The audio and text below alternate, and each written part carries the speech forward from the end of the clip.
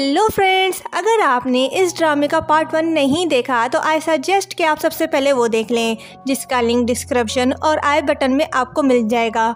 और अगर आपने अभी तक मेरे चैनल को सब्सक्राइब नहीं किया है तो चैनल को सब्सक्राइब करें और साथ ही बेल आइकन को भी क्लिक करें, जिससे मेरी आने वाली हर वीडियो की नोटिफिकेशन आपको मिल सके। तीन लड़के शॉप के अंदर थोड़ फोड़ कर रहे होते हैं और कहते हैं कि सब यहाँ आओ और देखो शॉप वाले नकली सामान सेल करते हैं और अपने मुलाजमों का इस्तेमाल करके काम से निकाल देते हैं। वो सबसे कहते हैं कि यहाँ से कोई भी शॉपिंग ना करे। मिंगवे वहाँ आती है तो थोड़ फोड़ को देख कर गुस्से से बोलती है कि यहाँ क्या हो रहा है? मैंने सुना है कि कोई मेरी जगह पर हंगामा कर रहा है। उनका लीडर कहता है कि, मिस, हम यहाँ चीज़ें खरीदने आए हैं, लेकिन आधी चीज़ें तो फेक हैं। महँगाई का तो ज़िक्र ही मत करो।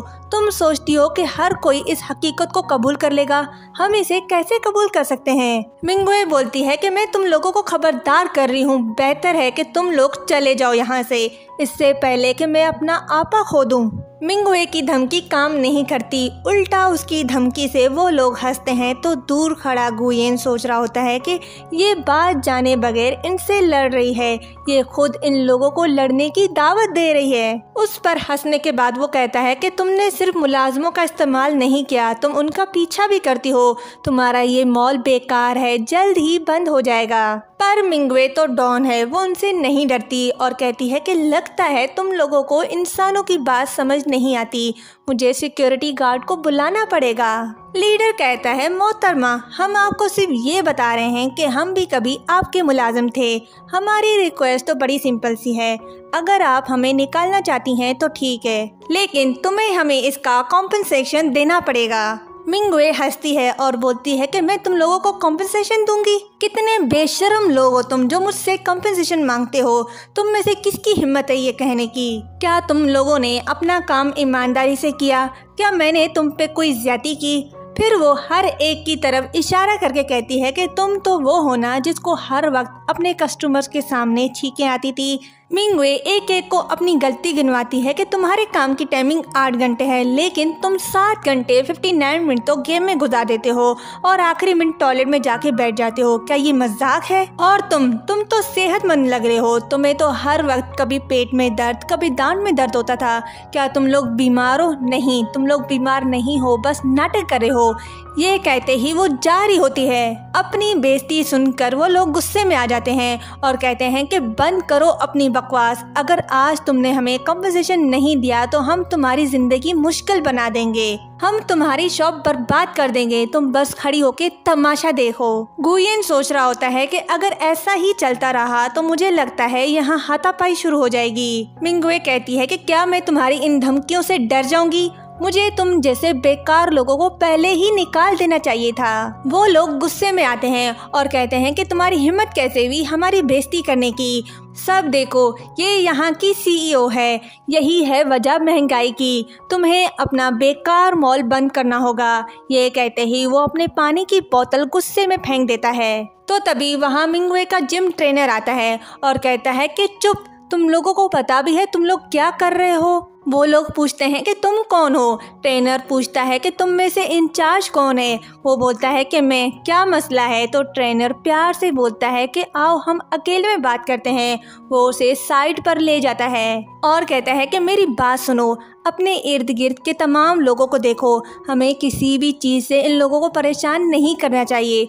ठीक है, सामान को इधर उधर फेंकने से और तोड़ने से क्या होगा? तुम लोगों का मसला फिर भी हल नहीं होगा। आओ, मैं तुम लोगों को अच्छी सी चाय पिलाता हूँ। लेकिन वो लोग कुछ नहीं समझते और ट्रेनर को धक्का देकर उसे नीचे गिरा देते हैं और मिंगुए के पास जाकर पूछते हैं कि आज तुम हमें पैसे दोगी या नहीं। मिंगुए कहती है कि तुम तीनों की हिम्मत कैसे हुई मुझसे पैसे मांगने की? गुयेन फिर से सोचता है कि ये बिगड़ी हुई लड़की इसको तो आग के शोलों में हाथ डालने में मज़ा आता है। वो लोग कहते हैं कि अगर वो उन्हें पैसे नहीं देगी तो वो इस जगह को जहन्नुम बना देंगे। लेकिन मिंगुए कहती है कि वो उन्हें एक रुपया भी नहीं देगी, उन्हें जो करना है कर ले। मिंगुए से इनकार का सुनकर, वो गुस्से से उसे मारने ही वाले होते हैं। तो गुयेन हीरो बनकर आकर उसे बचाता है तो वही लोग गुयेन को मारते हैं। गुंडों से मुका खाकर, वो उसका हाथ पकड़कर वहाँ से उसे भगा कर ले जा रहा होता है। तो बड़ी फिल्मी तरीके से मिंगवे सोचती है कि क्या ये वही रोमांटिक फीलिंग्स नहीं है, जैसा नॉवेल्स में बताया गया है। तुम्हारे आने से मैं अपने होशो आवाज़ खो बैठी हूँ।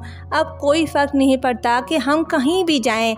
मैं तुम्हें बहुत पसंद करती हूँ। गुंडों से बचकर बाहर आते हैं तो मिंगुए बोलती है, तुम अच्छा खासा तेज भाग लेते हो तो तभी उसकी नज़र गुयेन की चोट पर पड़ती है।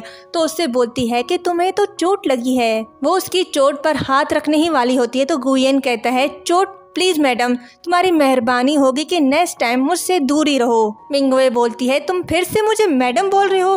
तुम क्या कहना चाहते हो कि मैं तुम्हारी नज़र में काफ़ी बड़ी हूँ? हालाँकि यहाँ तुम मुझसे बड़े हो। गुयेन कहता है कि तुम हर किसी को देखकर बकवास करने क्यों लग जाती हो? मिंगुए बोलती है, बकवास? क्या मतलब है तुम्हारा? क्या मैं तुम्हें डॉग लगती हूँ? गुयेन कहता है, मिस मिंगुए मैं तुम्हें एक और बार याद दिला देता हूँ कि आज जो तुम्हारा बिहेवियर था, बहुत ही खतरनाक था। मिंगवे कहती है कि मैं प्रेसिडेंट हूँ यहाँ की, कोई ऐसा नहीं है जिससे मैं डरूं। गुयन कहता है कि अगर तुमने ऐसा दोबारा किया तो मैं नहीं होऊँगा वहाँ तुम्हें बचाने के लिए। मिंगवे कहती है कि तुम अपने आप को काबिल समझते हो। तुम्हें पता भी है तुम अभी कितने लापरवाह हो रहे हो। गुयन कहता है, लापरवाह अगर मैं लापरवाह ना होता तो आज तुम मर चुकी होती। मिंगवे कहती है तो इसका मतलब तुम्हें मेरी फ़िक्र है। तुम मान क्यों नहीं लेते कि तुम मुझे पसंद करते हो? गुयेन कहता है कि तुम्हें जो सोचना है सोचो। ये कहते ही वो वहाँ से चला जाता है। वहीं खड़ा मिंगुए का ट्रेनर उनकी बातें सुन रहा होता है। मिंगुए सोचती है, ठीक है, मैं तुम्हारी इस बहादुरी के खातर भूल जाऊँगी कि पिछली बार तुमने मेरे साथ क्या किया था। क्योंकि तुम बहुत बहादुर हो। मेरे पास अब कोई रास्ता नहीं। अगली बार मैं तुमसे प्यार से बात करूँगी। उन दोनों को साथ देख कर मिंगुए का ट्रेनर जो गिफ्ट लाया होता है, वो गुस्से से उस गिफ्ट को फेंकने ही वाला होता है, लेकिन फेंकता नहीं और वहाँ से चला जाता है। फिर हम देखते हैं कि गुयन हैंडसम, जो कि टीचर भी होता है, वो अपनी बुक ओपन करता है तो वहाँ एक लेटर होता है। उस लेटर में लिखा होता है कि प्रेसिडेंट ने आपको इस एड्रेस पर बुलाया है। वो हंसकर उस लेटर को डस्टबिन में फेंक देता है। मतलब ये कि वो उस एड्रेस पे नहीं जाना चाहता नेक्स्ट सीन में मिंगवे अपने हीरो के इंतज़ार में टेबल सजाए बैठी होती है तो तभी कोई आ रहा होता है। वो खुश होती है कि गुयन आया है। वो उसे बोलती है कि चुप, आहिस्ता, हमें एक दूसरे को रिस्पेक्ट देनी चाहिए। वो अपने दिल की बातें उसे बताती है। फिर खाने और प्लेट्स की बातें करके बड़े प्यार से पीछे मुड़ के देखती है तो वो गुए नहीं, बल्कि उसका मैनेजर होता है। वो बेचारी उसे वहाँ देखकर शर्म से पानी पानी हो जाती है। तो तभी मैनेजर उसे बताता है कि गुयन अभी तक क्लासेस दे रहा है। वो आज नहीं आएगा तो सीओ गुस्से में टेबल पे हाथ मार के कहती है कि क्या? और यहीं पर ये पार्ट एंड होता है। नेक्स्ट पार्ट देखने के लिए चैनल को सब्सक्राइब करें और वीडियो को लाइक, शेयर करें और कमेंट में ज़रूर बताएँ कि आपको मेरी ये वीडियो कैसी लगी।